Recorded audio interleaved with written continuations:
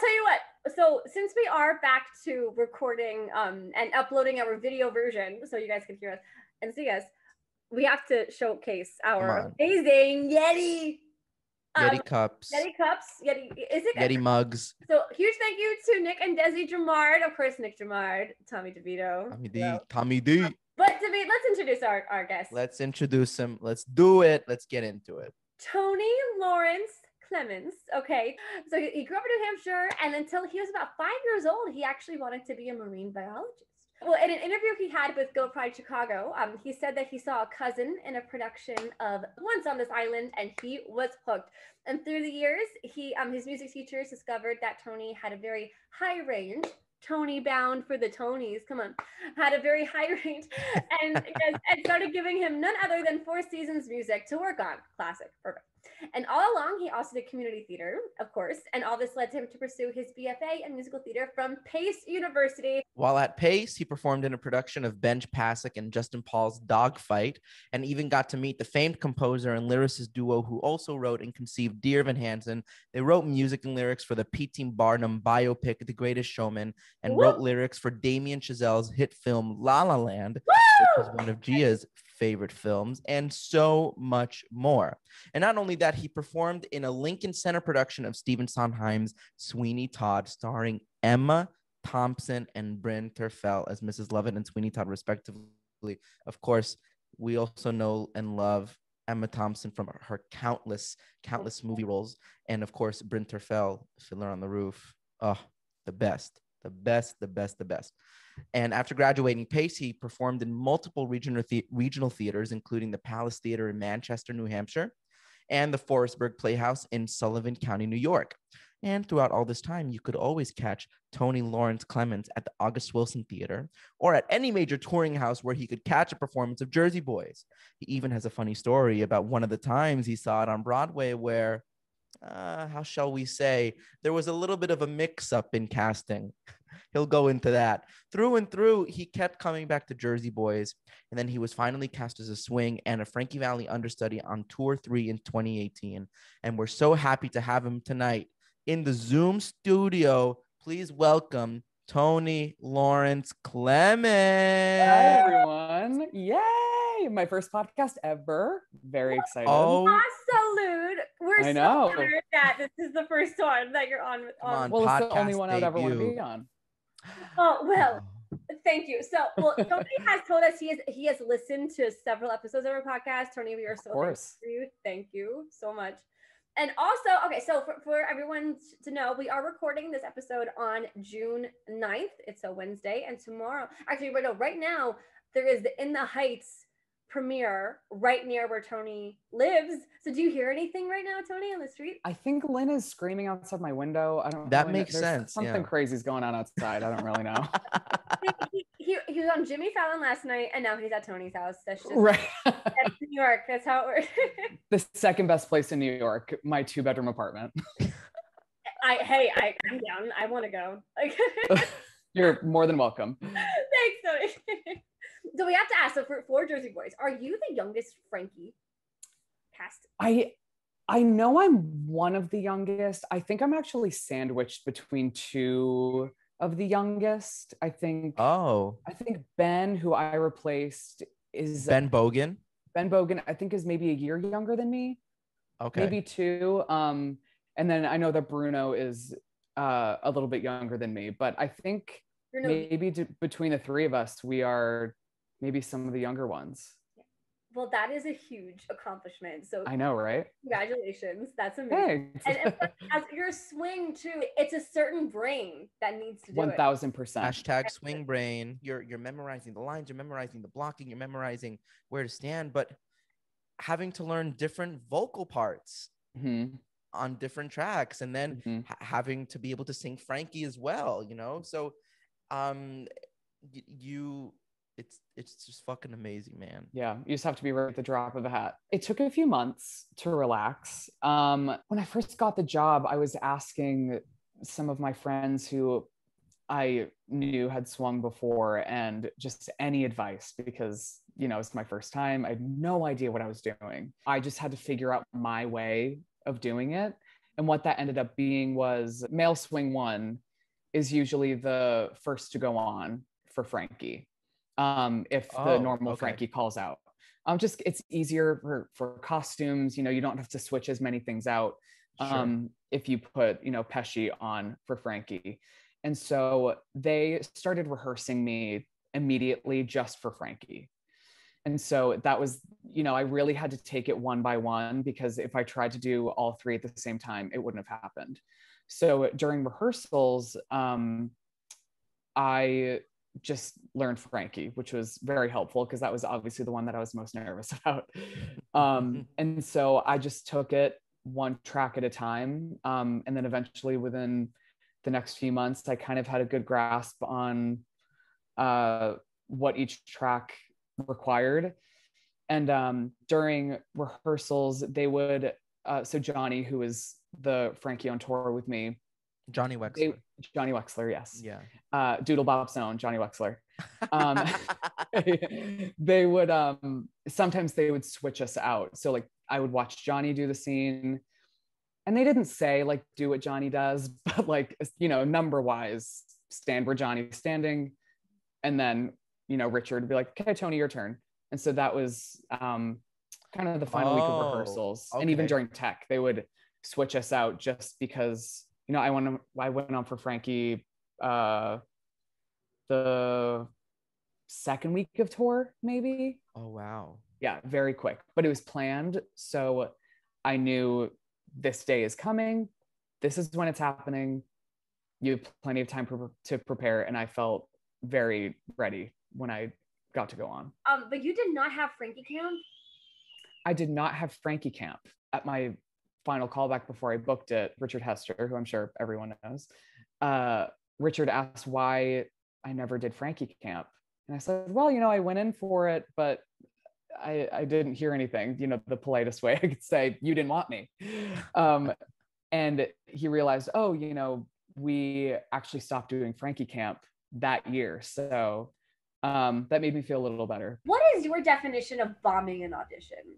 Because I know everyone thinks things differently. Sure. So, you know, with these early auditions, I, you know, I've cracked, I've forgotten lyrics, it's whatever. Things like that are totally fine. It was just kind of the perfect storm of things that could go wrong for this Bronx Tale audition. It was a very, very last minute replacement um, for, I think, Broadway. And so I was working my restaurant job, as you do, and I got probably 40 pages of material to prepare for the next morning. Whoa. Yeah. And I, you know, obviously panic set in. And, you know, they told me you'll be able to go in and choose which songs do you want to do. I'm like, great. I auditioned for at Paper Mill, Paper Mill, Paper Mill. I know some of these songs. Um, okay, I'll just choose these ones that I know. Turns out everyone at the audition knew all of the music because we went through it all together for some reason. and so I'm like, oh, everyone knows every single song. And I had about an hour before I had to go back in for my appointment. And I just tried to cram. Um, oh, no, well, I should say that morning was the dance call. Okay. And I was running late. I, the trains weren't running, you know, in Astoria, the trains Yep. are always messed up. Mhm. And so I hopped in a cab, but it was nine in the morning. So it was rush hour. so I was late to the dance audition. Long story short, I ended up spraining my ankle in the dance audition, but like, but didn't tell anyone and really tried to push through it. Yeah. And so as time went on, my my sneakers getting a little tighter. I'm like, oh, this is bad. My ankle is completely swollen Yeah. and I can hardly walk. Um, so that was the first part. Then music happened. Uh, Smitty ended up having to plunk the melody line for me as I'm trying to like get through this song. Um, because they were like, oh, uh, sing this song. And of course, it wasn't one of the songs that I had prepared. Oh god. And so uh, Smitty's plunking along. I'm sweating. You know, I have the flop sweat. Um, so embarrassing. So that is my definition of completely bombing an audition. It was mortifying. I I walked out of Pearl. I ran into the stairwell and just started sobbing because I was so embarrassed and I thought this ruined my entire career with you know wanting to be in Jersey Boys eventually and I'm like okay it's never going to happen because of this one audition and I'm here to say that is absolutely not true because you know they ended up casting me uh, a year or two later. So yeah. you know, going, you know, coming coming out of you know this this the whole this whole story of you know of your Bronx Tale audition, um, I, I I didn't go to a BFA program, so I can't speak to how a lot of BFA programs teach. But did did Pace like did they ever explain to you what auditioning was going to be like, what it was going to like waking up at 4:35 in the morning, waiting in lines, waiting in the non-equity line, mm-hmm. you know, until you get your card, having to be on the lists. Um, and then the list might get thrown out, or they might say we're not seeing non-equity people today. And yeah, so did- I mean, the great thing about going, well, I guess there are two sides to it. The great thing about going to school in New York is your I think it's our sophomore year, we're allowed to start auditioning, but only with approval from the head of the program. So oh, we ha- okay. we had to we had to go to them and be like, I, I'm thinking about going to this audition, and they would say, sure, go ahead, or uh, I don't know, maybe hold off. And then once you get to senior year, you're able to audition freely, just like skip long, class. Well, as long as you don't miss class, that's the oh, thing. Yeah. Oh, so for the first two years, you're not even allowed to audition for like if you go to Pace, you are mm-hmm. not allowed to audition for anything. And sophomore, and, you know, of course, some people, you know, some people do it go anyway, with, right? you know, and you, no one really knows. Right. Um, but yeah, but by senior year, you're able to audition. And of course, if you, you know, people come into Pace, you know, with Broadway credits and they already have agents. So agent appointments are a different thing. If you have an appointment, you're you're pretty much allowed to go. Oh uh, but any open this calls is... or anything like that. So you're able to learn about the audition process by literally doing it. Yeah. And then the other side is going to school in New York. You're like, I've lived in New York for four years and you know, I'm I'm behind. I haven't booked anything. And it's like, well, no, you're in school to learn. Right. And you're in school to train. Mm-hmm. Um, so I honestly didn't really audition that much when I was in school because I really wanted to focus on the training. But you know, anytime a Jersey Boys call came up, you know, I was there. And you know what? Yeah. You were exactly where you're supposed to be when you performed Lincoln Center. Mm-hmm. Oh my God. Sweeney Todd while in pace now. nice segue. That... Thank you. Was this when was that your sophomore, junior, senior year? It was my I think my junior year. Um, you and had so, to go ahead. Yeah. So basically, what happened was the head of our program at the time. She had a relationship with Lonny Price and You're Wearing a oh, Merrily shirt, shit. which we love. Yes. Hello. Um, um, so Lonnie directed that production and he reached out being like, Hey, we need some coverage for the principals they you know it was filmed so mm-hmm. they wanted to um figuring out staging for it uh how it would work with the cameras so probably maybe seven of us got to go in and do pre-pro for the entire production That's sick and then later on we got to be there for all of the rehearsals uh you know when Emma was there, and uh, as if I can call her Emma, like we're not on a you know, first name basis. well, you have some like amazing photos with her. I know. I actually have some really awesome photos with her, and she she's exactly what you want her to be. Oh, she is so kind. She's so dedicated. She's so focused. She's so funny. She's so charismatic. Um, so we got to be there for all of the rehearsals, and I got lucky because the the guy who was playing Toby, he was still in school. So he was in school during the day up until three o'clock. So I got to do all of the scenes, all of the songs. I got to sing Not While I'm Around with Emma Thompson, which is a highlight of my life. um, and so we got to be very involved with that. And it was honestly the coolest, coolest experience to see these major mega stars seeing their process with how they work Philip Quast as Philip Judge Turpin. Quast, Oh my yes, god. Yeah. I mean, I I know Philip Quast originally from the 10th anniversary of Les Mis. of course, of course, that's how Like, I knew him. Sick, man. It was yeah, Kyle Aaron Brenn. Mackey, Kyle Brand, Yeah. the sweetest, sweetest boy. He's now probably I don't know in his early twenties, but at the time I think he was sixteen. Um, Why did and I I'm like, think Christian Borle would play Tobias? right? I don't know. Who knows? um, and Christian was so cool too. He I forget what he was doing at the time, but he had to pop in very late, so he was only around for a couple days, um, and then delivered that masterful performance as Pirelli. Wow. Um, Well, feel like this- yeah, the whole the whole thing was so cool. It was so cool. like what you've done in your in, in such a short amount of time is so beyond impressive, really. Oh, thank you. You know, again, you're always comparing yourself to other people. So to me, I'm like, I haven't done anything. What am I doing with my life? Um, so that's very nice no, of you to I- say. it's, Thank it's- you. I mean that's totally understandable, man. I mean, I, Yeah. I, it's just, it, but you, re- re- and that's what that's what we're here for. We're here to build exactly. you up, you gotta baby. hype me up. Something I've realized is it's it's very hard for me to take a compliment. I have uh, two Yeah. friends who really rag on me when they try to compliment me, and I'm like, well, no, no, no, and they're like, stop doing that. So working on that. So in 2012, that was when you first saw Jersey Boys. Yes, yes, yes. What happened?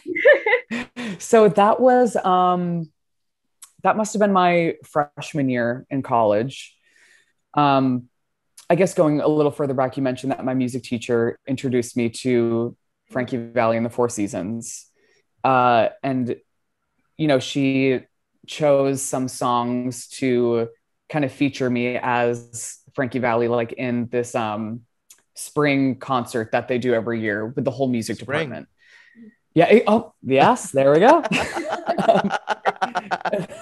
you don't miss anything. We don't. We right. I don't. love it. No, I love it. Um, and so I sang some Frankie stuff, and uh, looking back, I'm like, you know, I was in high school, and I'm like, oof, like that is rough, really rough. Um, but then, so, but I didn't really know about Jersey Boys, the musical, and so my freshman year, my boyfriend was visiting, and we were looking to just catch a show that night. I was like, oh, why don't we why don't we go see Jersey Boys? I you know I know some of the music. I, I've been told that this is a role I'm going to play one day. Let's go check it out. Obviously, completely fell in love. You know the well, of course the moment it started, I was like, what's going on? What you know, which is exactly what they they wanted. Yep. And I was like, ooh, they got me. um, what moment for you stood out in the show? Like what what cinched it for you looking back? um, honestly, Frankie's entrance Mhm, because I was like, that's the voice, that's the guy. Mhm. Um, honestly, big three. Uh, the end of Act One, Dawn, those stadium Uh, lights, of course. and I know everybody Ah. says that, but it is. It's so is good. so Mark magical. Edwards also says that. Yeah, we also the- say that. It's come on. It's Yeah. pure Des genius. It's genius. Um, also the guys coming from the floor at the end for Ragdoll, like th- those So were cool. huge standouts. Those, It's that, so those good. in top five, that's for sure. Yeah, yeah, yeah. that was the best. So, but but so somebody confused you with someone. Oh, so this was this was so crazy. This was um I think one of the I think the year before I booked it. So I was in final callbacks for it the year before. And my parents were in town. I had the audition the following week. And I, I honestly think I saw Jersey Boys three times that weekend because I was like, I will book this. I'm going to book this. um, That's like and also, ideal weekend. Right, exactly. And so at, at the time, I knew that it was a long running show.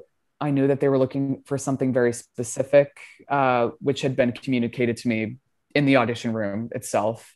Um, and so I was like, I really need to study who this guy is.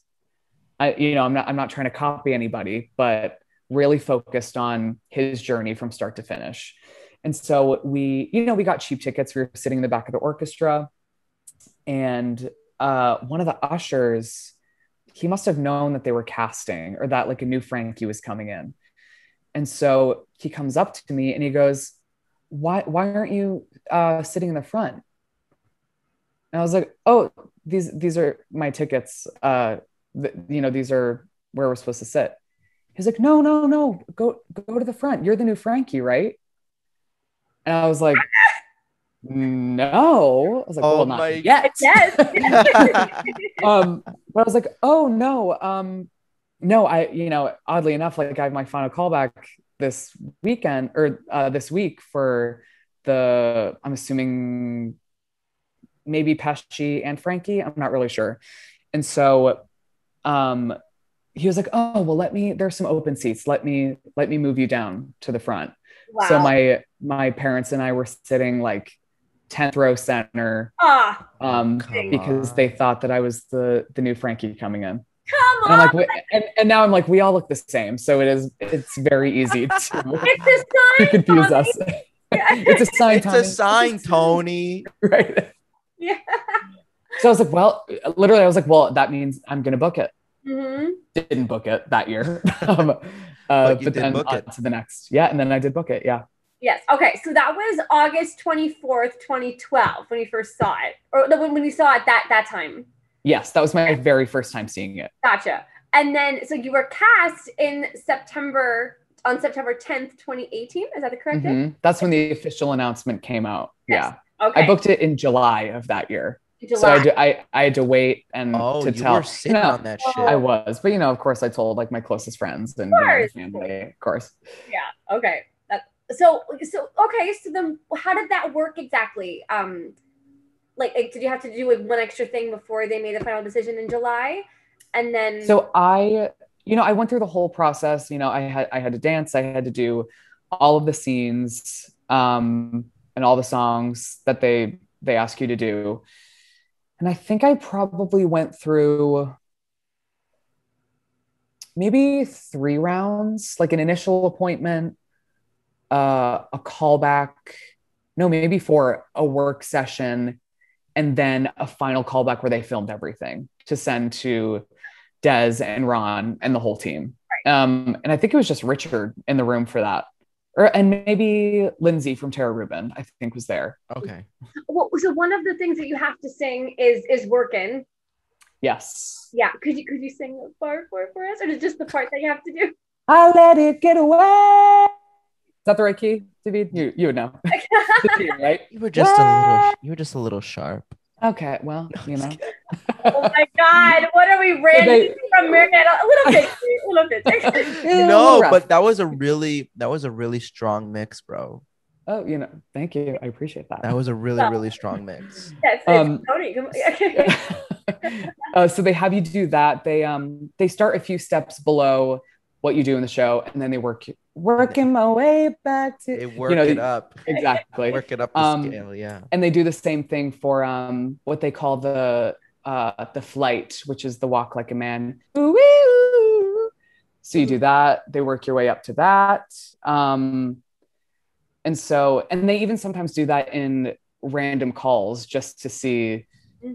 When you go in on your own they're like okay can you do it so the first time i got to do that i'm like okay one step closer like that now they're now they're seeing if i can I'm do one it step higher than the rest. yeah. god you're so good Talking about the high notes and Mhm. what, what what you have to sing in the audition. Can you tell us about your high note in Rock of Ages, sir? oh sir? my god your Rock of Ages don't stop believing story. I like to say it's um my uh Eden Espinosa moment where Yeah. uh in Wicked when she goes up to that high F in No Good Deed. I was like, let let's get this trending. Let's get it going. But um, you know, it started as an accident, or not an accident, but a joke in a way where we were at a brush up rehearsal Which, and by the uh way, you also sang that high F and walk like a man. That's true. That's Yes, work. and so um, you know, we were at a brush up rehearsal and you know, we were just kind of goofing around. Um, you know, and I guess maybe I was uh, in good voice that day. So, um, you know, I, I go out and I do the little opt up moment, and uh, everyone was like, "Oh, you have to put that into the show." And I'm like, "Oh, I don't know." Like, I mean, Franz and Rock of Ages is already kind of extra, but you know, might as well just put a real uh, exclamation point at the end of the show. um, so I uh, opted up to that. Uh, what is G it? sharp. G sharp Or A flat, or A you flat as you know A flat Tony, as I Tony like to likes. A flats. He doesn't like G sharp. Sounds better. It sounds more impressive. um, and then uh, it was caught on film, uh, thankfully. And then I just posted it, being like, "Happy closing!" Like, the, you know, this is this is what I'm Work. doing. Right.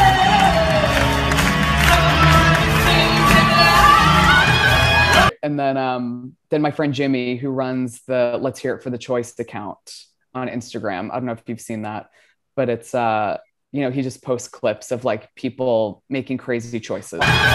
So who, who's your friend who runs the account? My friend Jimmy Larkin runs Jimmy that account. Jimmy Larkin. My God, thank you, Jimmy. Yeah. Thank you. So he he posted it for my birthday because uh, we also went to school together at Pace, and Cool. so he posted it for my birthday, and it got some traction, and uh, that's kind of I that's kind of where I peaked at this point. So Not at all, dude. You have you have you you know you're climbing the ladder of success, man. You're wor- you're I'm working step your way higher up. than the rest. Yeah, you So got you the guts. There, you walked so your Frankie could run. That had to be it. Oh, Honestly, exactly. You're That's it. so right. Yes. Franz walked. So Fr- Franz, Frankie, come on. It's all it, it, coming it together. writes it all it, it writes itself. It fuck- it really does. fuck- fucking writes itself. From Franz to Frankie, I would tell I know. And and honestly, what a what a leap that is from playing a, a German boy, a very flamboyant German boy, to you know Frankie Valli from the streets of Straight, Jersey. straight, straight as a stick. Ex- Frankie Valli. Literally, exactly.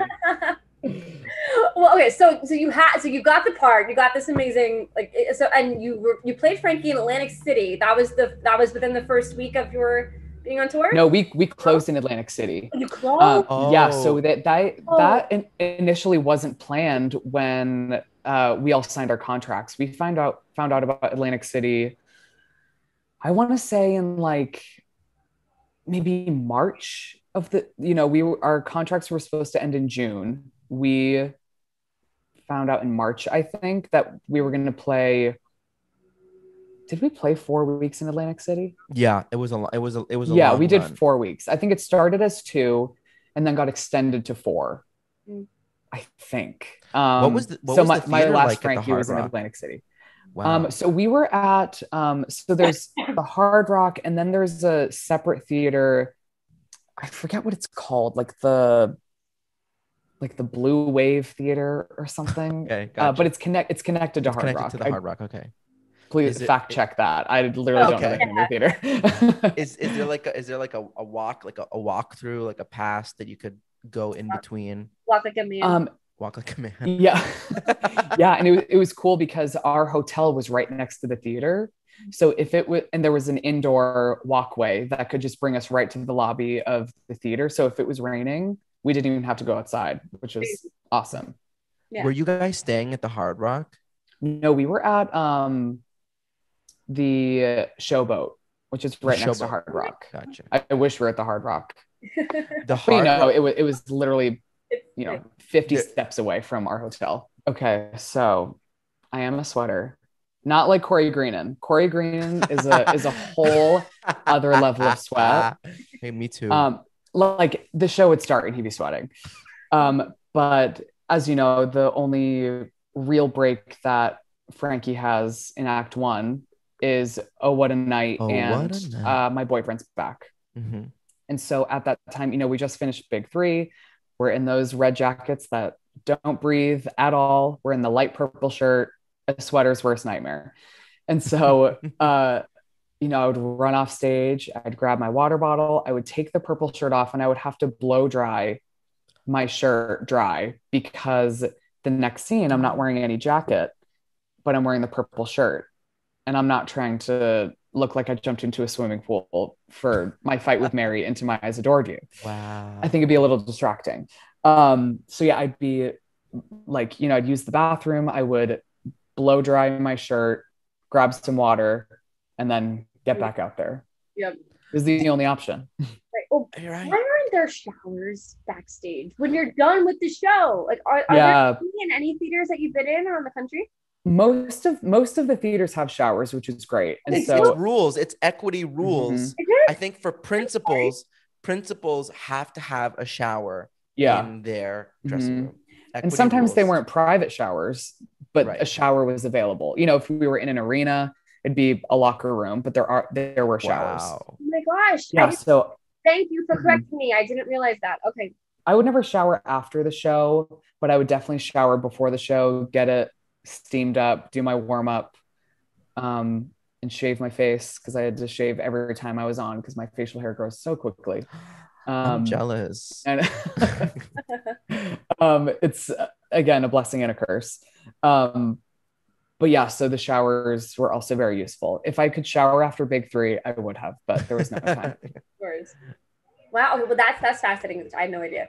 It's, Mhm. it's like Lily one. She was in the shower. She was in the shower. Can you tell us about your first performance as Frankie?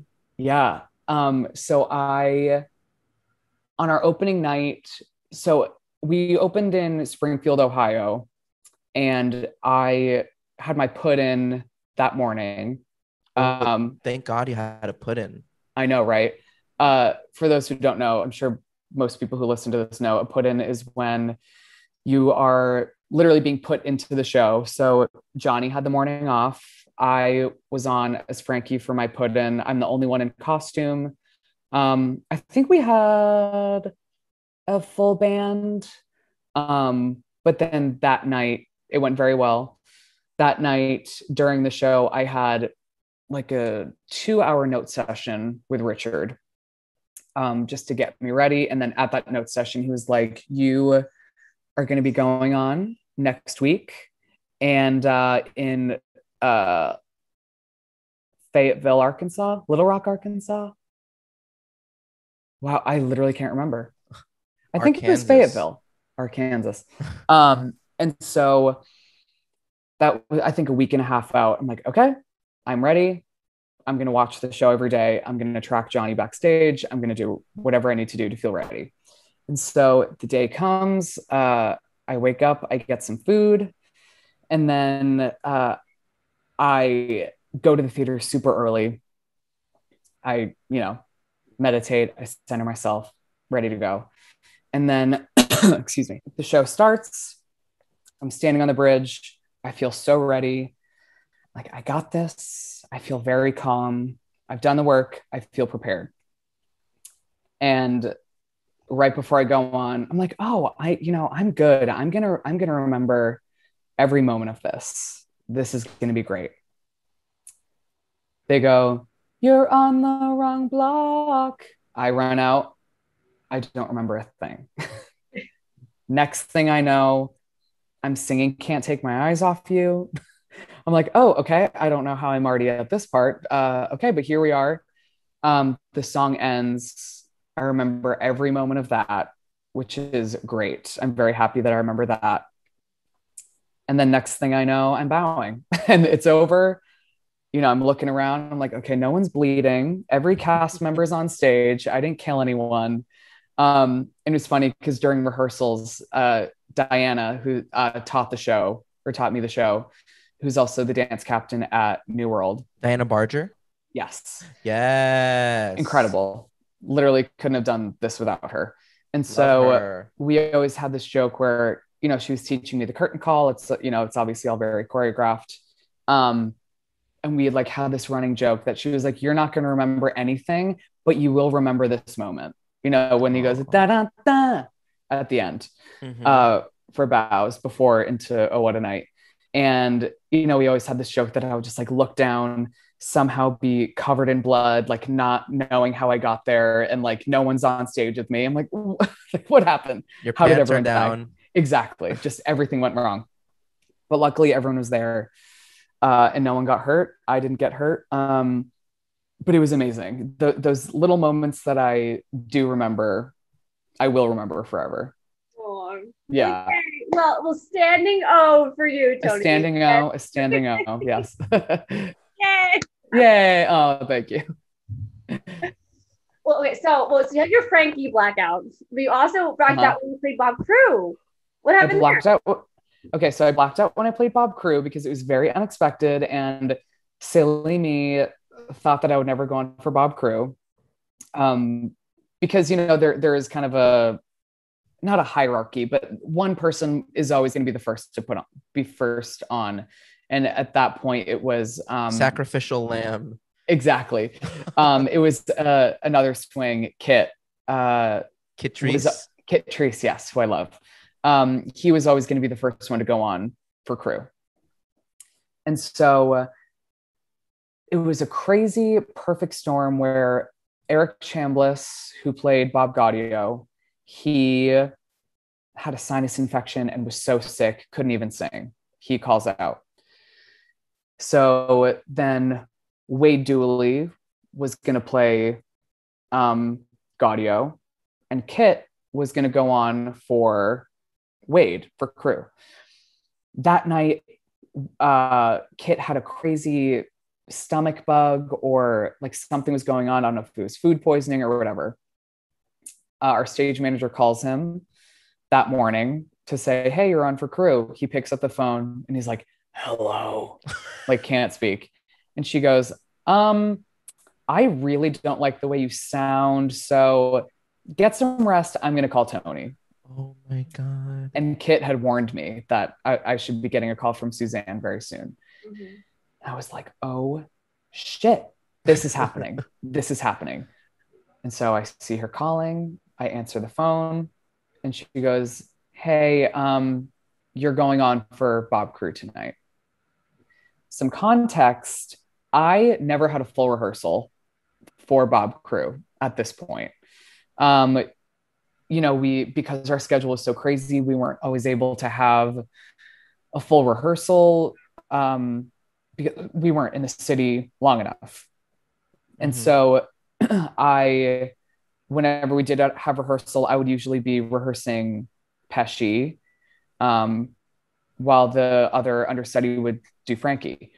And I would kind of hop back and forth. There's one rehearsal where I literally played Frankie, Pesci, and Bob Crewe, but I never had somehow running around like a crazy person.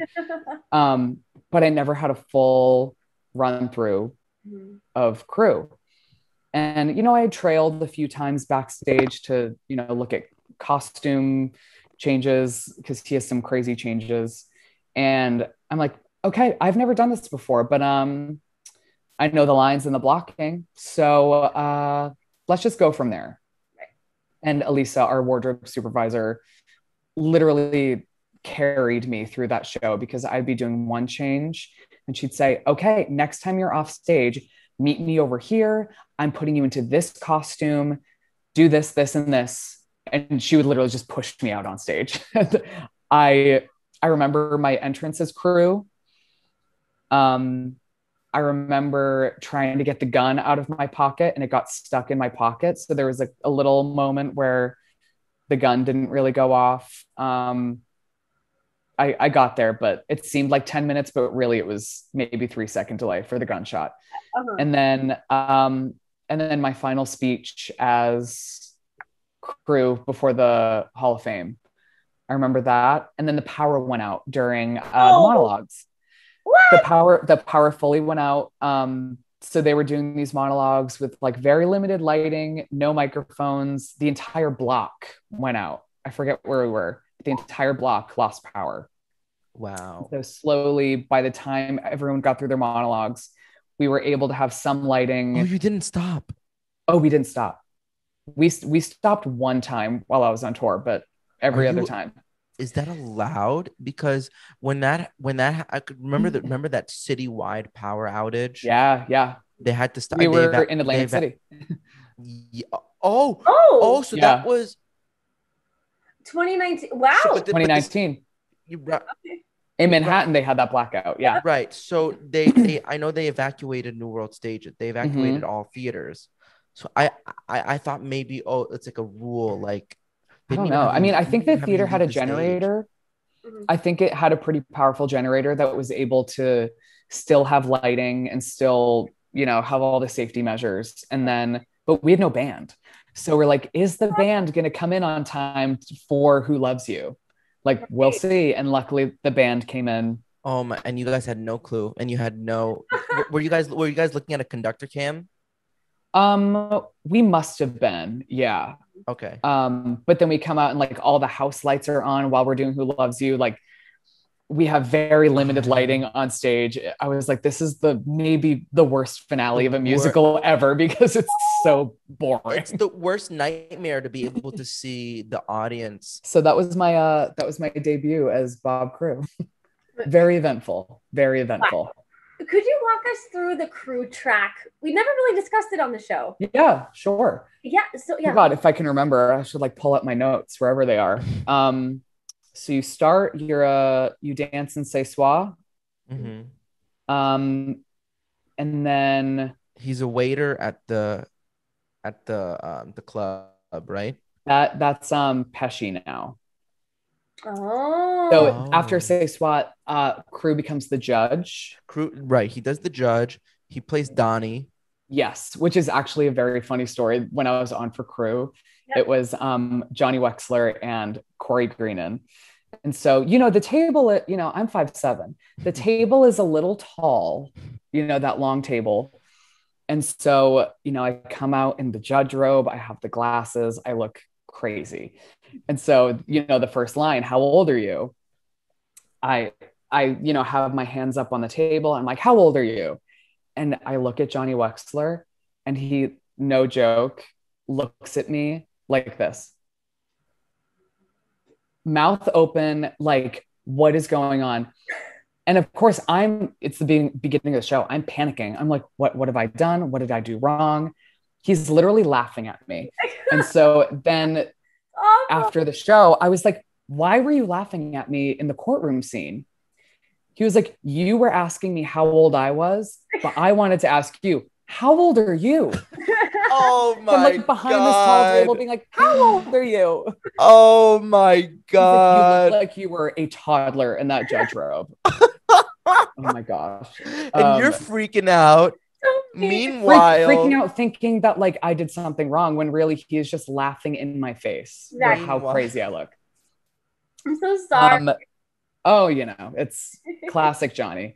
Um, Johnny. but that was like a running joke for the remainder of tour. Uh-huh. Um, wait. So Tony, how old are you? No, I'm just kidding. I'm 28. um, yeah, young man. right. And so then he's Donnie, and then I think he has a nice little break, and then he's Crewe. Um, I think he's Crewe Crewe for the rest of Act One. He's Crewe for the rest of Act One. That's correct. I think. And then um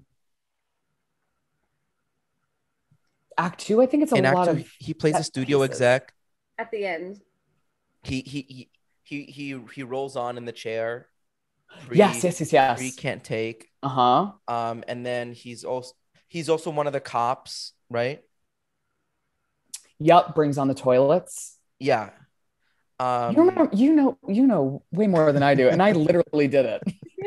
Um and then he's Crewe for the end. Um yeah, I think that's most of it. Oh, and then I think he's a um patron during Beggin. He's a he's a gangster during um the sit down. okay. mhm. He's he's standing on top. Yeah, bridge. yeah. Man one and man two are the gangsters You know, now. for for years, I called it a catwalk because I mean, like that's kind of that's like the technical Oh term. yeah, right. But it, it wasn't until we met Joey Paradise Mhm. that he's that he was he he used he's that's the first time we oh at least I, I don't know about you Gia Mhm. that was the first time I ever heard the word bridge Yeah. associated with that catwalk. No, I always thought it was a bridge. Really? You're just you you just you're just so a little more creative than the rest of us. no. You have a creative I mind. was just like a bridge, Jersey to New York. You know the. Mm. Wait, that's Wait. brilliant. No, but like symbolically, that's what I was thinking. but it's also like the bridge that- from earth to heaven because people walk the bridge and they die. exactly. yes. Wait. Yeah, well, wait. the stairway, the stairway to heaven to The get up stairway. Literally. Yep. These guys are brilliant. The They're Those are the brilliant. discoveries on silhouettes JB Podcast. Right? Come on, guys. This Add it is, to the this list. Is the No, exclusive, yeah, I, I never even exclusive thought content. it's Right. true. I, I never thought to think of it as a catwalk. I mean, it, to- it totally works either way. Because Well, in honey, we love a Hamilton, catwalk. in Hamilton, yeah, we love a catwalk. in Hamilton, they call it a catwalk, or at least Oh, really? I've heard. Yeah, at least that oh, I've Oh, heard. interesting. Because because they have they also have that. Listen, Yeah. the set for Hamilton looks a lot Scarily like the set for. Jersey Boys. Hmm. Howell, How no, they- obviously Howell didn't design the set. Yeah. he designed the lights, but Howell. Rest in peace. Yeah. well, this is where like the niche technical um parts really come into play because you mentioned Yeah. man, one, man one, man two, man three, which Mhm. we never heard of before.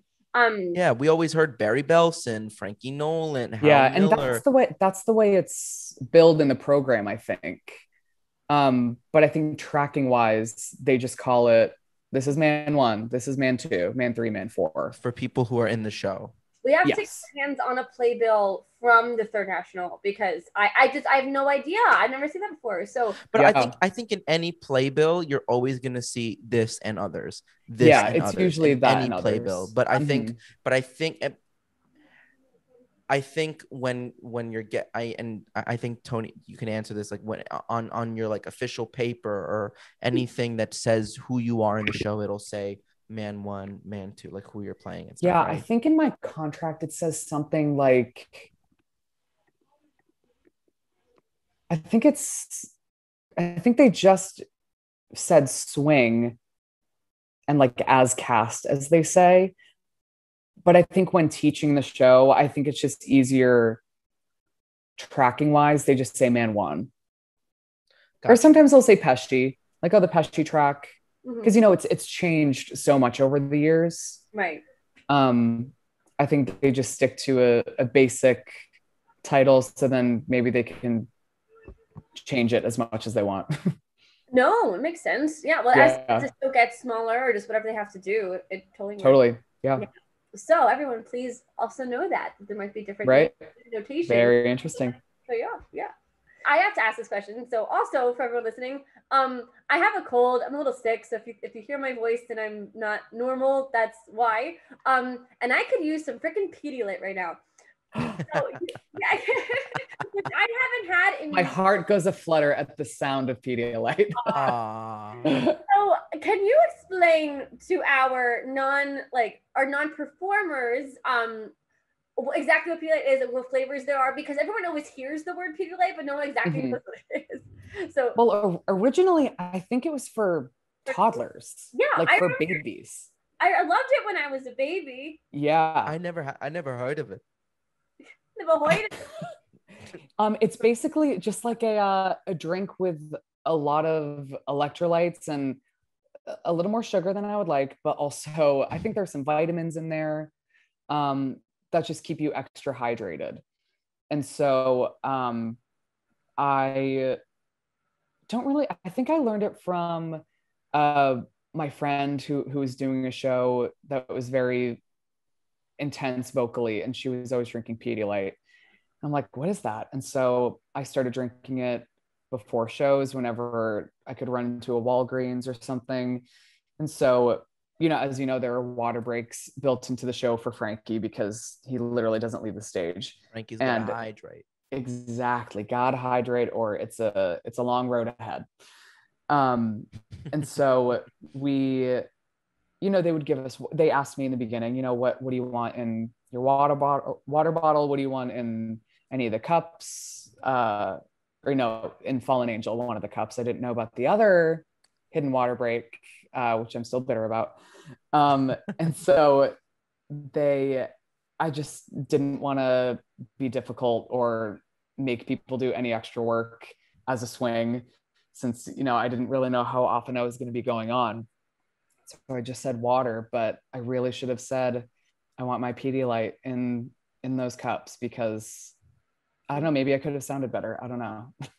Well, it would sound great either way. But but can you get Pedialyte now like in a regular store? I I never see it. I don't know if I'm looking for it Yeah, so you you literally have to go to the baby aisle to get Okay. it. to get it. and okay. so um you know they sell it at Rite Aid or you know Walgreens, any of those drugstores. Yeah. Um, they are like eight dollars, which is kind of excessive, but uh, it's so worth it. I'm You know, it's a big bottle. It's incredible. yes. Okay. At least it's big. That's what matters. Oh yeah, and you know, it's the perfect hangover cure. Ayo. It's so great. It's so great. Can you tell us the story about when Courter Simmons came to fill in? Yeah. So um, uh, Johnny had to be out of the show uh, for an injury for a weekend. And so they, we were in Providence. And so Courter came down, Courter Simmons came down to just fill in for the weekend. And so uh, there's a scene with Gaudio, the um, coffee shop scene. And for as long as I'd been doing it, there was never any water or anything in the cups. And so Courter comes in and I hear him talking to the stage manager after his first show, being like, hey, you know, there, you know, he's the kindest, kindest person. He's like, hey, there was actually no um, water in the coffee cup in the coffee scene with Gaudio. And I was like, that was an option. We like we could have water because because Johnny just never needed it. And so, you know, they they never put water in the cup when I was on. And so I should have asked for for water every time I was on because I really needed it. But um that was the they were jipping me on the the water break. Hey, you did Gyp did to it. Carlo, Gyp DeCarlo. There You it is. did it. You did it. Look at you. He's grown up so quickly. I know. God, they grow up so fast. I could definitely see you playing Gyp with your hair. Oh my god, with his gray hair. I know. I'm I'm already on my way to playing Gyp DeCarlo. But not, I didn't even notice it was gray. Just the oh, height. oh, it's full. Oh, it's fully gray. Well, you Is it know, you really you know you. Yeah. Oh yeah, look at it. I can't really tell. You can. It's Wow. it's short on the sides, but it's Yeah. the sides are fully gray. I mean, uh, you, you you mentioned it last dry night. I was like, nah, he's kidding. And I was, Yeah. Oh no, wow. fully gray. Well, Yeah. very, very dignified. Yeah, yeah. No. it's very in anyway with the silver. I guess so. I guess so. Yes, own it. The next Anderson Cooper. There Own it, go. live it, love it. Yes, yes, that's the new motto. well, why don't we take a quick break and yeah, then great. yes, And we'll next be- do a real deep dive into pure Frankie character.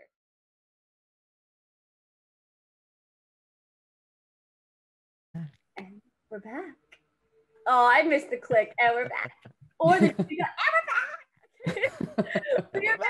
Tony Lawrence Clements, who is telling us his amazing story of how he went to Pace and then he all these wonderful shows, Lincoln Center, then he got Frankie Valli. It's a beautiful story. And he's only 28 years old.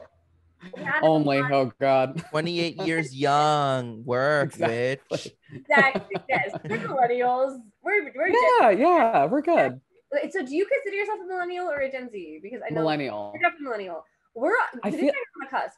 We're millennial Z's. It's true. Millennial Z's. What's the cutoff?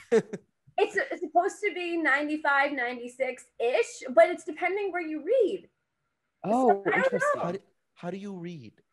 How do you hear it? How do you hear it? Or how do you- All right, well let's let's dive deep into Frankie's. Frankie Valli is baby boom. Mhm. No, no, no. He's before baby boomer. Way before. What the fuck? Oh yeah, what would he be? No, he's he's a depression kid. Depression era kid. Depression era. Mhm. Yeah. He's Okay. an icon. That's all we need to say. He's an icon. He's an icon. That's it. He- we'll definitely cut that out. I'm just He's, thinking. he's Yeah. icon Z. right. Icon Exactly. Z. That's so fun. Okay, so Belleville, New Jersey. Here we go. Let's dive in. Yeah. All right, now So- where to begin? There's so much really. Um, so, hmm, we, so David always talks about how silhouettes, of course, the name of our show, um, Mhm. in terms of difficulty, is wild right off the bat. So, Yeah. but I love how that when you said that was like the first one of the first things that really stuck out to you. Of course, entrance. I love that. That's amazing. Yeah. Um, can you also talk about how you approach I can't give you anything but love? Because there are different Frankies who trust it or who do the falsetto. What do you do? Sure. So uh, I'll start with silhouettes. Um, that, I mean, that part is terrifying to begin with because my my it sits a little low for me, and you know, right off the bat, and I think that's why it stood out to me so much was because there is there's such a shift. Um, you know, you hear these amazing bass notes from Nick in the beginning. It's very grounded, and then all of a sudden there's this switch to this high falsetto. And so um, I knew that that was an important introduction to the world of Frankie. Um, so I kind of did struggle with that vocally in the beginning. Um, and also like the sound on the bridge is also sometimes kind of questionable depending what kind of venue you're in. Oh, so wow. so sometimes it's hard to hear yourself and when, you know, Yeah. um, and Danny Austin actually asked me uh, during tech, he was like, can you hear yourself up there? And I said, um, no, no, not really. I, I I'm, I'm kind of lost. I don't really know what's going on. And he goes, okay, great. Good to know. Always ask for what you need. Mm. And I said, great, Bible. Like I'm taking that as Bible. Yes. um, love Danny. And so, um, and then I can't give you anything but love. I don't know if I initially, I don't know if it evolved. I think I maybe had always just uh, chested the last note again because the note just sits a little too low in my voice. And I, I think it's important to show that Frankie really is a singer.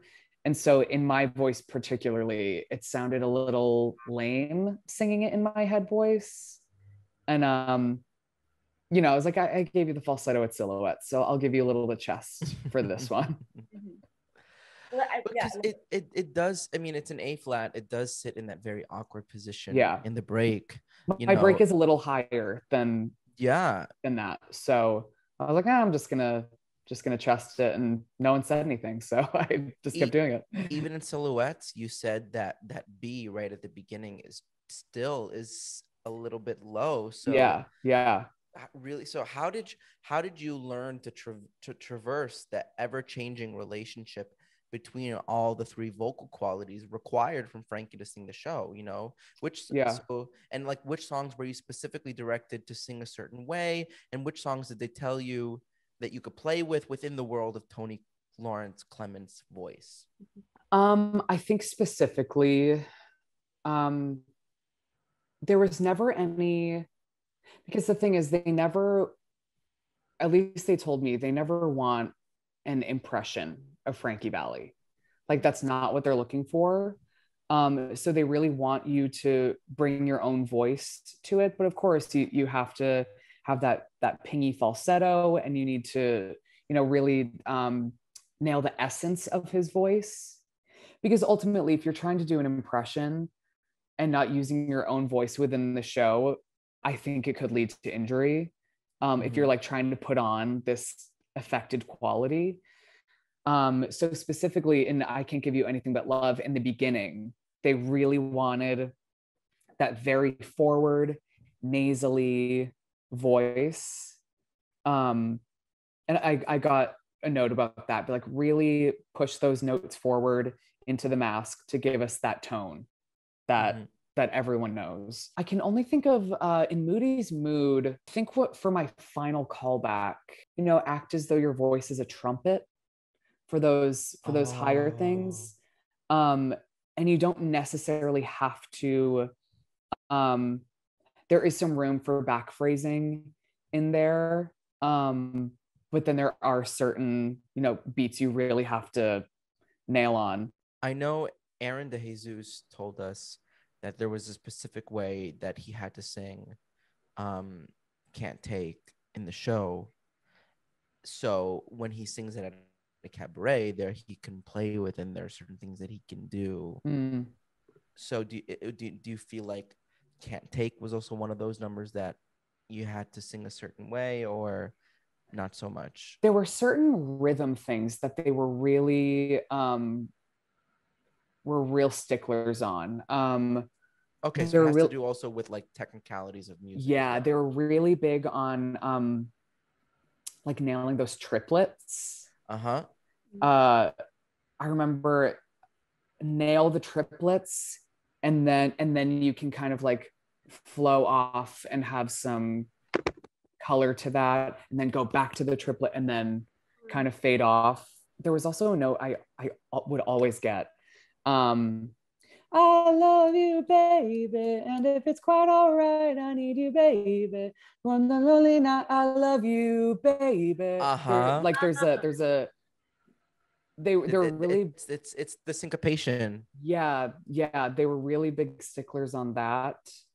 Um, Ron but at least the impression I amazing got, they were really inviting to how I wanted to sing it, as long as it fit within the world of of the show. it's R- R- Ron Melrose really did such an amazing job making these tunes accessible Mhm. for this newer audience, for this newer generation, 2004 and beyond. Yeah, It's it- it- making it so, making it like a little bit more intricate in ways that you you won't know by listening, but once you're in the show and if you know music, you can kind of see like because he said go up to anyone on the beach say hey sing me eight bars of sherry right now. They're going to sing you more what it sounds like in the show than what it sounds like on the original track. Totally, so, totally. so i i, I They're gonna I sing it a little faster. a little faster and a little, a little bit more a little bit more syncopated and a little a little bit cleaner which is which is what the opposite of the four seasons were. They were not clean. They were Mhm. not sharp. Like that's why the the, the dancing is just so like yeah but we and, and we were talking to other people and then uh, you know some of the original broadway cast members were like the dancing wasn't really such a like they weren't really making it look Yeah. Was that Dark. Sarah who was talking about that? sarah talked about it Yeah. um, They had they had like a little um transition where they had to go back and be like, we're gonna make this the dancing a kind of a different thing. Yeah. Right? Yep. Yeah. Mhm. And but And, it's- uh, with the Cena tour, with the tour, because like with um like and who loves you, like they, they got that booty thing, and I'm Oh like, yeah, yeah, yeah. for the girls yeah that. I'm like, that's not like I, how do you feel about that change? Like, I mean, that- I I literally never saw it happen, so I guess I, I don't. and I think it happens so quickly, but I see what you mean, where it's just like, huh, like like it's it, it seems like it's um in there just for the the fun like right. public consumption of just like exactly right. this is like Hmm. we're sexy this is a this is a fun little thing the girls work sexy so hard in that show they deserve to have so have a little booty drop I moment agree. Yes. despite despite the way that the way their knees are feeling that day Oh, I, don't, I can't imagine. i well, know so- well, so for the third national tour, I, I feel like, like the branding of the show has definitely changed. Like for New World Stages, it was like pure sexy. Um, Mhm. Like, like for the for the video promos with Keith Hines and Jenna. yeah I, oh my god jenna i love that girl Yeah, we love Jenna. Um, she joined she joined our tour later on oh, she did. um yeah Oh, yeah yeah, didn't know that yeah I remember she did She's tell us that. Yeah. Um. So, well, did, did you did you feel like maybe the newer audiences was expecting something different because the branding changed? Um. Like, what do you think? yeah i think i think a lot of the branding may have been the a great same because I, I yeah, I remember in Atlantic City, we had that huge billboard in the lobby of Keith and Jenna and all the I I don't know any of the other people who are on there, but um it is so funny to see, you know, those promos like with the car and the flashing lights. And I'm like, this the show is sexy, but like the those press materials were so sexy, like in a great way. But I'm like, to me, I was like, does this really like match what we're doing on stage? Because it kind of doesn't feel like that. Hmm. But it is, you know, it's you got to get the those seats sold, and um, I certainly don't think anyone's disappointed when they come to see Jersey Boys. No, of course not. But, but Or it's like this isn't what I was expecting. yeah. Well, I, I'm just curious because like we we love mar- the marketing team at Dodgers. Like Justin. Oh, it's I mean, the marketing is so good. it's the It is best. sexy. but the choreography definitely does reflect it. So I'm sure they had to Mm-hmm. make some, some little changes and Yeah. the music too, because we talk about this all the time on the show. But I think what's um with what Rick Ellis told us, I think that kind of changed the game for how we kind of approach the questions for the for the episodes too, because um like Rick was talking about the jukebox musical, of course, and how everyone thinks like Jersey Boys is, is like one of the main jukebox, but it's like Mhm.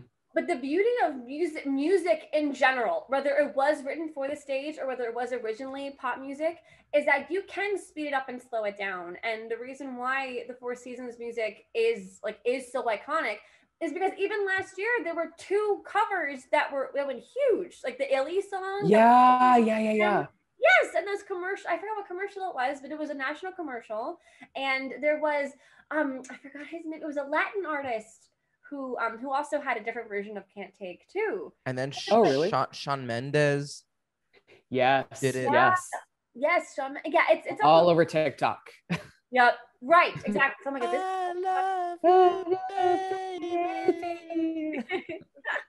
I love you, baby. so how, how did you feel hearing those new versions as someone who played Frankie?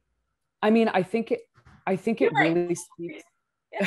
well, no, I really think it speaks to the material. It it really is so timeless, and it really it is so malleable that it can be turned into different things and still be a Mhm. complete hit. I mean, when I first heard that that song on, I, I'm assuming it was on TikTok, and I was like, first I was triggered, and then second of all, I, I was like, whoa! I was like, this is like a new updated thing, and I, I think it's I think it's so cool that their music is able to Transcend. live on. Yes, exactly. Whether it's the original version or some iteration that um, someone came up with, I think it's I think it's so cool. So when did you know growing up wh- when you could sing falsetto? You know, when I was growing up before puberty, you know, I was living that male soprano life. Yes. Um, but then luckily when when I went through puberty, I didn't have a crazy um the transition wasn't as hard as it is on some people. I I never really um lost any part of my range, I guess. Uh yeah, and you know, I never had to go through uh cracks really. It, it wasn't something that I struggled with, thankfully. Um, but I honestly think the first time I discovered that I could really sing in falsetto was from that music teacher uh, who introduced me to the Four Seasons. She really pushed me to, especially when singing that music, really pushed me to strengthen those muscles because while, yes, it is something that some people are just naturally born with, it's also something you really have to work at. Um, because it's really not natural, really, like, or at least it No, doesn't feel it's not. natural. And so I worked really hard on that. And so when I was, you know, the first song I sang was Sherry uh, in like a little Jersey Boys medley and, or Four Seasons medley, I guess. And, um, and, you know, there were some rough moments, but I figured it out and I realized that this is a part of my voice that, well, she told me is A, going to make me money because not everyone can do it. So, and she was right. It made me a good amount of money, thankfully. And, uh, throughout the years in college i really worked at it um, and now it's some sometimes the strongest part of my voice honestly like the falsetto is kind of always there Well, I'm very happy to hear that that puberty didn't affect your your voice too much. i know thankfully Yeah. Well, plus like growing up like in our era too, like, like no one no one has a voice like that. You know. yeah no one really sang like that and now you mm-hmm. have you know the well you know you had freddie mercury but now you have the adam lamberts who are singing in the rafters and who's now singing with queen he i mean he was a huge vocal inspiration to me Oh, Nick, growing up Nick Jonas. He Nick uh, like, Jonas. like, in select songs, he'll yeah he'll go I into still like get jealous. yeah, So good. uh, and then also like Oh, yeah, yeah, yeah. I clearly know all the words to that. Same. Well, so did you did you listen to boy bands growing up? Like, did you love them? Yeah, I mean, you know, I have I have an older sister who's four years older, and so you know, we were always listening to Backstreet Boys and NSYNC. Um, and I wish I got into you know the older, you know, the original boy bands. Um, but we, you know, we were '90s kids, and we were, um, you know, 98 Degrees. and- Yes. uh, and all of them. Um, yeah, th- those are my jams back back in the day. Awesome. Because we, did like we grew up with it for sure. Yeah. we Yeah. A lot of a lot of like guys, at least like in South Florida, like our, our theater scene, never really thought to even try it. So Right. It's something too. Um, Yeah. Okay, so you had your vocal lessons. You, you had the falsetto. Let's talk Mhm. about vocal health. You did your exercises. Do your exercises. So um well so were you taught early about vocal health and did you learn about it in college like how did you kind of come up with your own vocal health um like your with wellness routine i guess Yeah, yeah. So I it started in college when uh, I was doing summer stock and we were doing rehearsals all day for one show and then performing another show at night. Oh God, And you were doing so- rep. Oh, it was brutal making lit not literally no money, but essentially no money. You know, it, it was it was my first um professional job. And so uh I could never ever do it again. But honestly, one of the best summers of my life. And so I was introduced to, you know, those little personal steamers and Oh. literally the steamer Mine's that I used on tour right there. was the same steamer I had in that summer stock gig. It has lasted me Amazing. all Right. of these years, nearly 10 years. And so, um, Years. oh, so, oh my God. Why didn't I think of that? It's so clear. Damn it. Um, so that was a big thing. But, you know, back then I was so young. I didn't, you know, I could literally do whatever I wanted with my voice and I would be fine. And then I was like, okay, we're, they're a little swollen. We got some allergies going on. So I use my steamer a lot. Um, I pull on my tongue a lot, which is something I learned in college where, you know, you stretch your tongue out to get rid of any tension. Um, I would warm up before every show. And that was honestly something I started on tour because I never used to warm up really Mhm. and I was like, "Th- uh, uh, this is a show where I really need to make sure everything's aligned, make sure everything's in check. Um, sometimes I use some glycerin to like coat the core or the core, coat the throat. I also love throat coat. I love tea, you know, all those things. Um, and you know, you kind of have to offset all of the uh, drinking that you do on tour because that's also a necessity when, when you're on the road. You after the show, you gotta have a cocktail or two or three or four or five. but but not but not every night like you, ca- you can't do it no, I, I yeah may, maybe not every single night of tour, but Yeah. you know, a beer, you know, mm. it would be fine. Oh. Um, well, that's good to uh, know I- I- right. I just just stop And that there, yeah. right. I mean, that's that's some and you know, obviously when I'm like, okay, I need to like chill a little bit. I'm having too much fun in Chicago or like, you know, whatever city we're in. I, I still take voice lessons. Um, because you know, you use it or lose it. Because for a while I didn't sing during quarantine. Mhm. And the first time I tried to sing, I was like, oh no, I've lost a lot. So um, I always just try to keep singing and try to keep it going because as I found out, it's not pretty when you don't use it. It's Right. hard. Yeah. It's a muscle. You got to keep training. Yeah. it. Mhm. What's your favorite vocal warm-up I well, I love uh, warming up with a straw. That's what they Um, tell all Frankies, right? Oh, really? Oh, I didn't know. No one yeah, told me yeah, that. yeah. Oh, oh, really? Oh, wow. Yeah. So sabotage. yeah, all, all, all Frankie's the uh, Katie Agresta has them do that. The straw. I love the straw. Um, what is I it? also okay, so basically I have a straw right here. Okay. So what you do basically what it does is it you know I'm not a voice teacher, but this is just what I've heard. Um so when you sing through the straw, it basically um narrows your focus for um like breath support.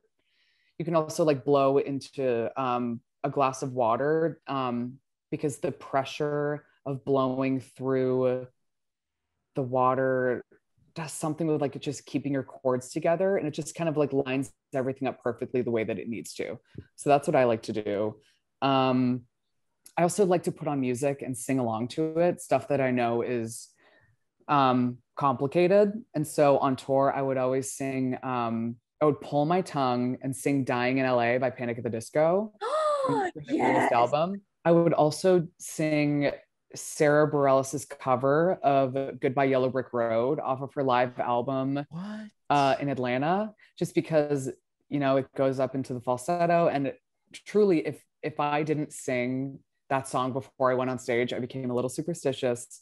oh. I just was not uh, there vocally the way I wanted to be. So everyone would always hear me singing Yellow Brick Road, singing along to Sara, my girl.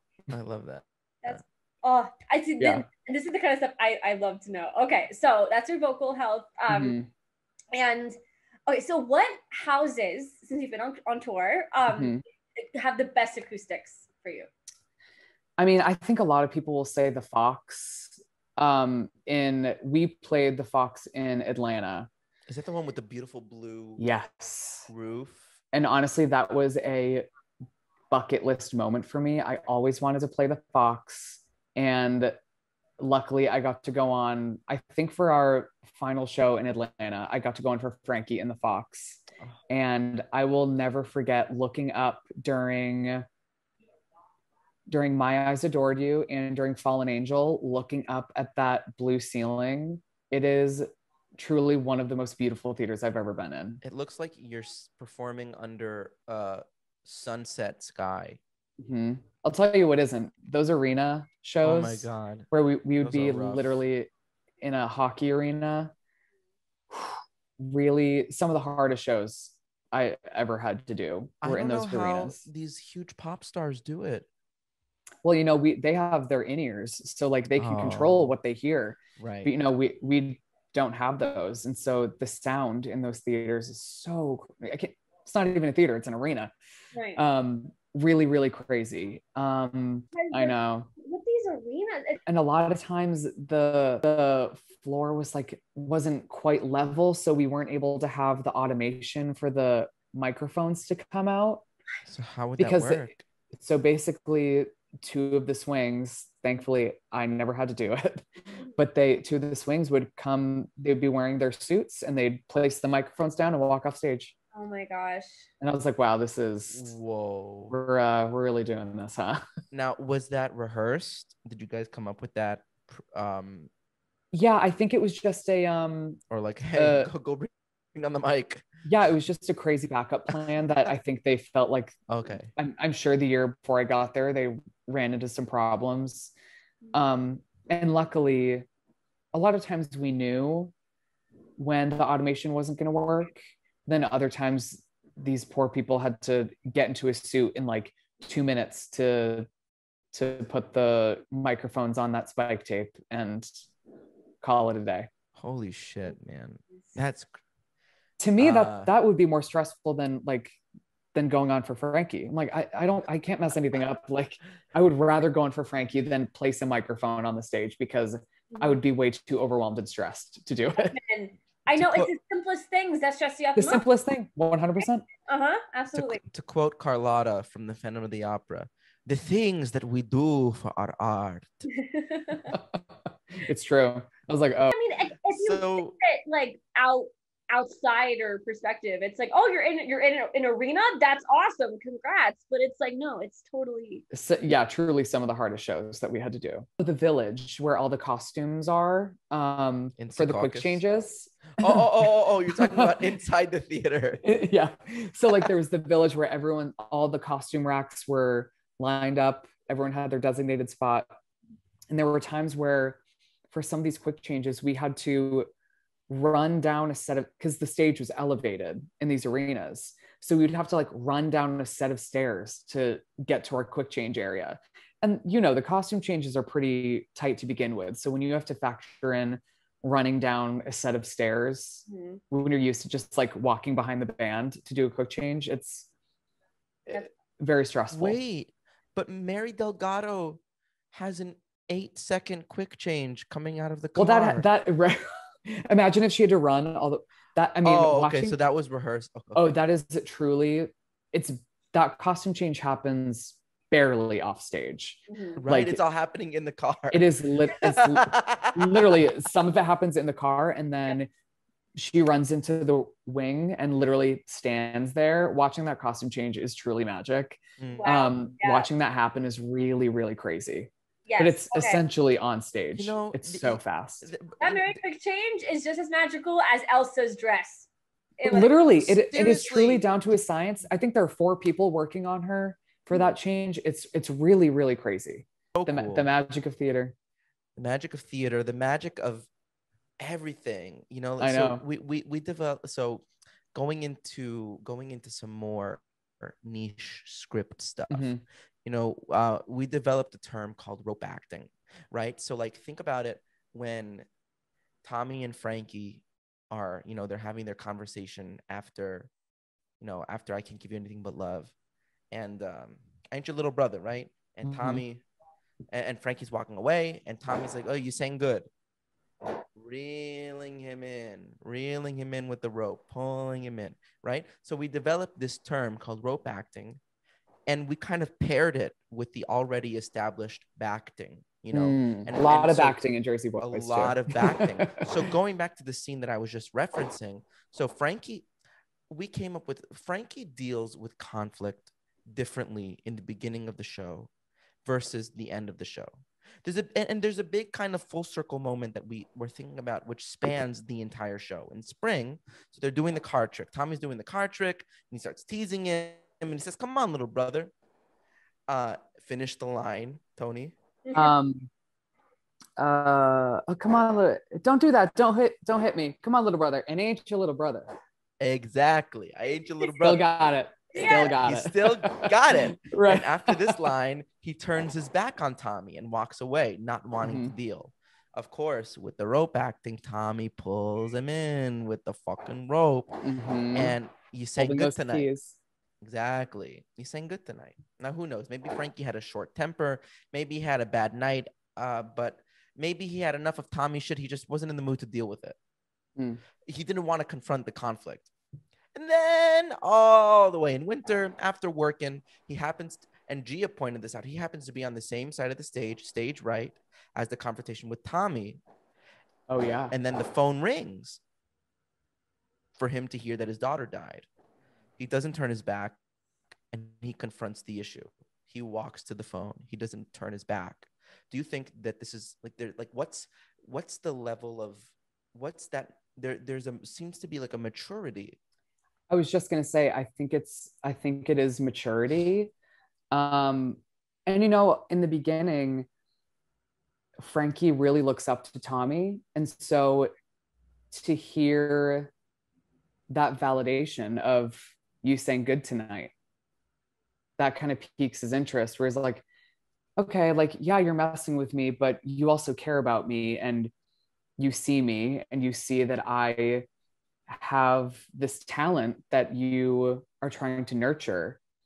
And i think that's very intriguing to him. And i think yeah i think tommy as a character is he knows exactly what he's doing in in every moment whether um whether it pans out well for him or not. Um i think he's uh very tactful.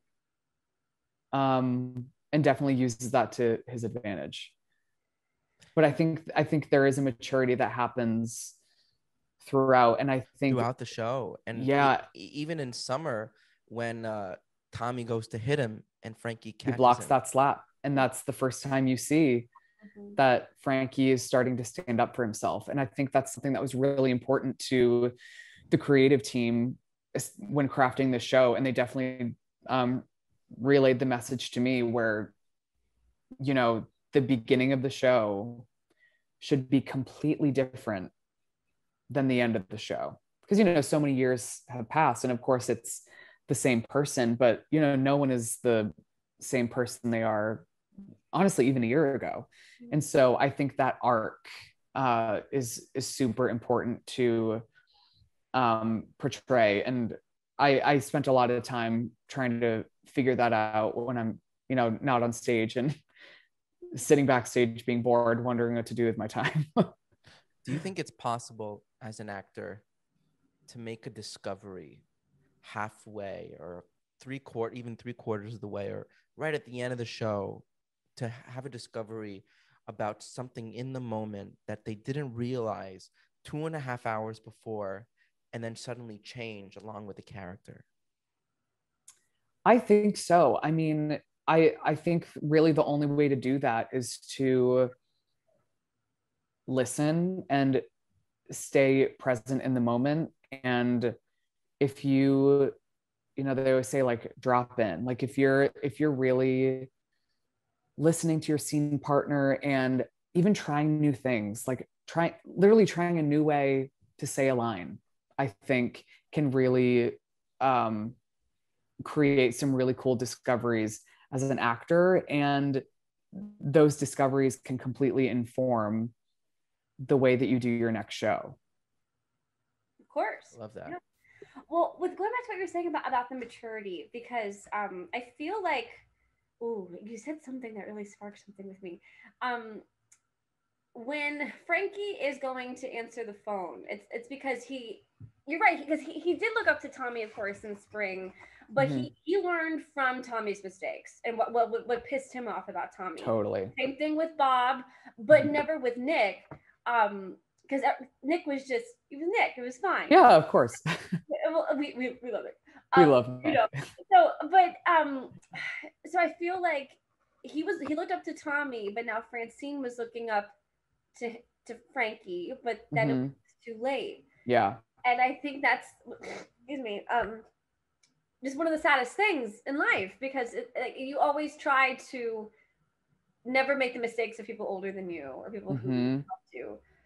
But but I also understand if Frankie because he was so young when everything happened, you know. Yeah. And, and you were Mhm. so young, Tony, that you know, like, and, and oh god thank you no, it's true, and, we look up to you, honestly. Just like oh think that's sweet you've done it, you know. But yeah but I feel like, and like I think like Davina and I are kind of getting into that like mini mentorship, like for like for incoming freshmen and like it was totally totally and stuff like that. But it's like it's hard when people put that pressure on you when you still feel like you're a kid yourself. And I feel like with with these like with the band in like for Italian guys, th- there was no such thing as a role model.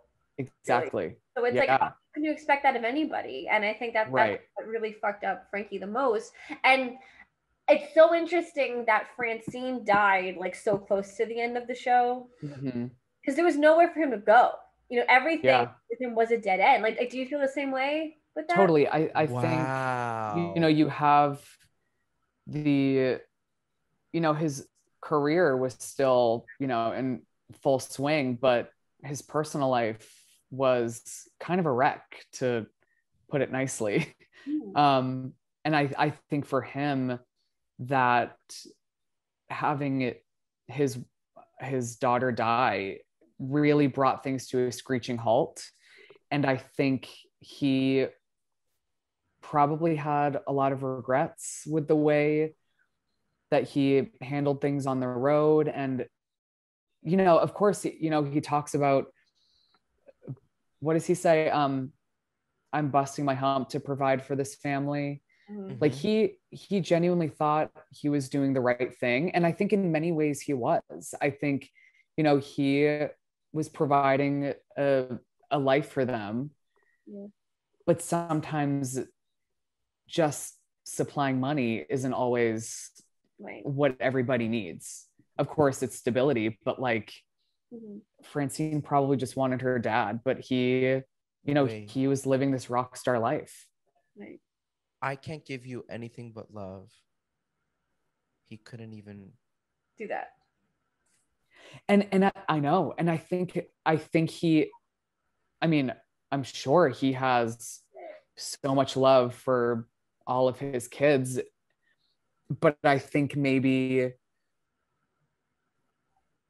i think for a lot of people like you feel the love but you don't necessarily share it in the way that some people need and language. I think, I, yeah, it- literally love languages. yeah. And I, I, I, I wonder if he just thought saying "I love you" was enough, and maybe it wasn't. And um, the movie when he's he's talking to Francine as a little girl, he's like, so she asks him. They wrote this That's scene for the movie. He's like, she's she's like, Daddy, do you love me? And he's like, Of course I love you, but do you like me? Mhm. What do you mean? Oh, Right. What do you mean? Of course I didn't see that like part of the movie. I, and he's like, I love you more than the stars and the moon and the sun rolled on. yeah. Okay. And he ends it with, with like with it, it kind of it's kind of like Fresh his, it's like a routine. Mhm. Um, I I loved that addition. I thought that was really nice, and especially the fact that he brushed it off, um, like that, just because he's like, yeah, of course, because no one knows what love is, but but you know what brotherhood is, like that. It's neighborhood love. I know. That's, and right. and I th- we we can get into the whole thing about you know masculinity and what, what it means to what it means to be a man, especially back then. You know, you were strong. You didn't you know you didn't cry. You didn't you didn't do it. You know, you can only do so much as a man. Um, and like how you're portrayed to the rest of society. Um, but and thankfully now I think that mold is kind of hopefully being broken. Where like it's it's okay to cry, and you should cry, and you should express how you feel to people. And um, yeah, I think times were just different back then. Do you think Frankie was caught in the middle with the band and the fame, or did you think What do you mean caught in the middle? like like with of course he wanted to be on a national level and to be as, Mhm. as high as he could be and um like ha- have the love of the fans but do you think maybe there's a part of the character of frankie that maybe didn't want it That's interesting. Um, I feel like, I mean, of course, I I don't know what you know how he feels in real life, but I think in regards to this show, um, I think all of it was very unexpected, and I don't I don't think he planned on this kind of fame, and I think it kind of just swept him away, and next thing he knows, he's being inducted into the Hall or the Hall of Fame, you know? yeah Um, I think it was probably very easy for him to kind of get lost in all that. And it's so easy when you have all of these people like screaming your name and crying when they meet you and, you know, really going wild. Yeah. Um, and I think, you know, on a much smaller level, even just being on tour with Jersey Boys, it's so, it was so easy to be uh, stuck in that bubble Mhm. where like sometimes you kind of forgot that there was a world outside of the tour. of You know, you keep you keep in touch with your friends and your partners and you you do whatever, but you know, sometimes when like something dramatic would happen, you know, dramatic would happen on tour, Mhm. you would like tell your friends about it and like when you're saying it to them, you're like this actually isn't really a big deal.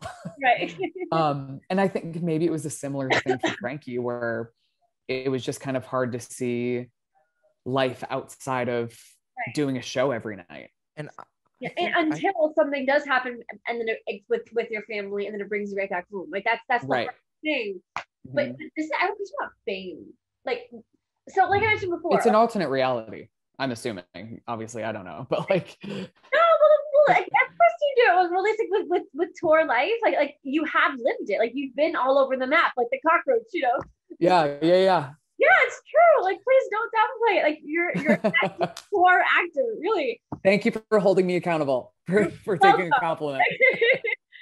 um so but it's like okay is I, I and I was even asking um on my story like about three weeks ago I was like just thinking about fame and like why people move to New York or do anything you know especially when people move here I feel like because you you come to be significant you come to do something important and then when you go home you know you think like you're, you might be doing the same thing but you're like yeah but it's not in New York it doesn't count you know That's a big I, and yeah. yeah well, Um, it's I, like the whole Broadway or bust thing because that's that's what we've been Mhm. talking about because like art is art and everyone needs it anywhere and like it's value is valued everywhere and if anything Mhm. it's valued even more in a place where it's never available at least here like Yeah. you can it on the street or on the subway, you know. Um, but I do you think we like let's say like people our age, like we, we want to be famous and and we see um like maybe for the wrong reasons. And so we, we hear the story of frankie valli and he know like wrong side of the tracks this band and like they Mhm. but they got it. It's like well but like i like i but i want it so why can't i get it? Like do you basically if, is wanting it too much going to jeopardize um what you actually want to get? Like do you think maybe that's a, a problem that a lot of millennials have to get past? Maybe and i think um i mean going back to social media i think everybody ha- everybody has a voice and everybody has a platform. And i think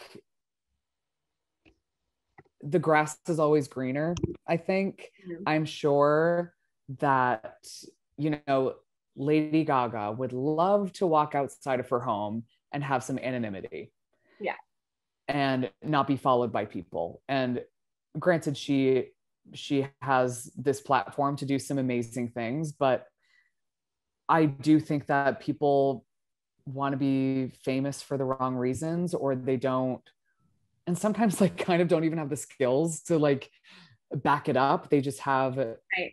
we just have this idea of what hollywood is or what you know what broadway is and what um what fame means and i think that the people who end up being famous i think the most compelling people are the people who it just happens to by accident because I think that journey is way more authentic. Um, and I think it makes a makes for a better person and in most cases probably i'm sure some people turn into complete nightmares but um and No, it's even like Mhm. something that i held on to for so long was not having immediate success after school Mhm. um because you know there were people in my class who went on to book broadway right out of right out of college but i think there is something to be said about the the couple years of the hustle and you know working 40 hours at a restaurant and also waking up at five in the morning to sign up for an audition because i think you know and of course not to knock people who have success right out of school it, it's obviously incredible. Um but i think the reward when you have those times where you aren't successful or you're not working and you are questioning why you're doing what you're doing. And then once you get that thing it's i Mhm. think it makes it that much more sweet and you you you you you treasure those yeses Mhm. more after getting all the no's i know. But you know so it, it's it, it might be it might be harder for these people who book right out of school who book right away to deal with the no's sure and i think that it just you know everybody gets no's and i i think it just um it's just a delay of the nose Right. I, exactly. Right. Every the time everything catches up to everybody at some point. totally totally Yeah, and I think that's why Frankie, like when he's like, "Why'd you do it, Nikki? Why'd you walk away?" You know, it's such a loaded question. hmm You know, it's like, "Why would you do this?" Or it's like, "Why would you leave me here with all of this?" right and it's just another example of never knowing what what someone's going through Yeah, It's true. Ugh, there's so much. so before we go we are going to play a quick uh round of uh quick round of finish that line. Who said that? Say the next line with tony lawrence clements. We're gonna say a line and you have to tell us yeah and you have to finish the line or we're gonna give you a line you have to say the next one. So let's get right into it. Gia you got one? I got one. All right here we this go is fill in the blank of that line. Actually, okay okay. So, um, okay, it- it's a line. It's from Davis, the program director at the radio station. oh no i always had such a hard time with this section okay no. okay, well, it's not too bad. Okay, so they're talking about can't take, of course. uh-huh okay oh no That's okay. All right. So he's talking to Bobby and he's, he's like, Bobby, of course, for you, anything. I mean, come on, Marianne, that's a winner. But the other one, the blank one, how come the big push? The weird one. Perfect. Got Right? it. You got it. Yes. it seemed harder than it was. Yeah. yeah. Oh my god, I got so nervous because I I would literally have to run through that every time I was on because I would just get so I would get man one and man two confused. I would like forget which which one I was playing. Right. So I always had to always had to check in with there. You got it. Wait, so, so is that man one or man two? That's man one. Man one. Okay. Good to know. Okay, that's mine. David, you ready? Okay, so so this is uh say the next line. So Tommy says, and if I say no, Frankie says, then you can get yourself another lead singer. Tommy says, What'd you say? Frankie says, Then you can get yourself another lead sink. And that's when they Yeah, blocks the slap. he guys, he did it with the with the dash, with the cutoff. Was that actually is that the real cutoff?